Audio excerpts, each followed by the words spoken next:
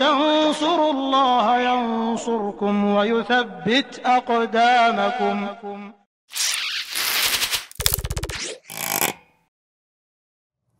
Bagaimana memilah antara bangga dengan identitas sebagai muslim dengan sikap angkuh atau sikap sederhana dan tawadhu. Muslim itu nggak boleh sombong.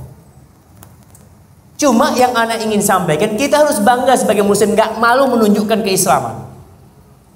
Kadang-kadang ada sebagian orang yang pas waktu sholat karena kumpul dengan teman-teman kantor yang nggak muslim, dia malu mau mengatakan afwan, anak mau sholat, malu dia. Ketika dia lihat di meja tempat dia kumpul ada khomer, dia malu untuk meninggalkan tempat tersebut. Ada sebuah cerita jemaah subhanallah. Seorang chef di sebuah restoran bintang 5. Di sana di mereka masak macam-macam yang halal yang haram mereka masak. Subhanallah, orang ini tidak memasak kecuali yang halal. Akhirnya manajernya turun. Karena dia nggak mau masak yang babi apa dia nggak mau masak. Yang pakai homer dia nggak bagus turun manajernya. Kenapa kamu kok nggak masak pakai ini? Apa jawab chefnya? Saya muslim pak. Selesai jadi bukan bangga dengan Islam itu eh, eh saya Islam Enggak, antum itu tawadu orangnya. Tunjukkan keislamanmu ketika waktu sholat antum berangkat sholat ya. Sampai ada cerita bagaimana seorang muslim pemuda di Eropa lagi. Alhamdulillah jamaah. Perkembangan Islam di Eropa sangat menyenangkan hati. Ada seorang pemuda masuk lift di apartemen. Tengah jalan ada perempuan masuk. Perempuan ini masuk dengan bersolek, dengan berdandan pakaiannya mini, seksi. Ini yang pemuda nunduk ke bawah. Yang perempuan itu bingung.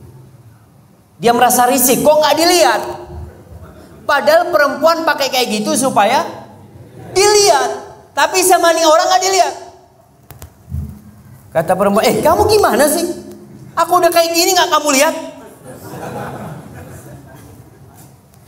Apa kata pemuda ini? I'm sorry, I'm Muslim. Itu bahasa Inggris. Anda Muslim kata dia. Perempuan ini nggak pernah dengar apa tuh muslim. Apa tuh muslim tuh kata dia. Mulai dia ceritakan ya, tentang Islam ini. Lalu perempuan ini minta nomor telepon. Boleh minta nomor telepon. Insya Allah. Iya, dikasih nomor telepon. Akhirnya dikasih tahu ada Islamic Center. Dapat berapa lama dia masuk Islam. Itu bangga muslim. Tunjukkan akhlak. Jadi bukan kesombongan, bukan keangkuhan lah. Yang kita maksud itu kita tunjukkan bahwasanya anak muslim nggak malu untuk menunjukkan lah afwan anak muslim ya. Mamanya ada acara pesta-pesta yang laki perempuan campur ada minuman. Eh kamu kenapa nggak datang? Aduh ada acara macam bukan. Kenapa nggak datang? Saya muslim. Uh, saya sama Islam juga. Ih, kamu Islam. anak muslim. Anak tahu itu nggak boleh.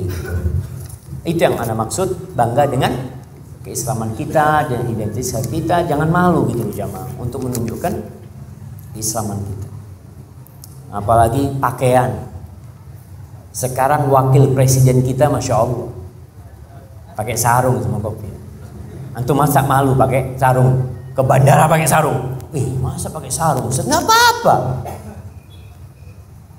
Itu salah satu identitas umat Islam di Indonesia pakai sarung umpamanya apa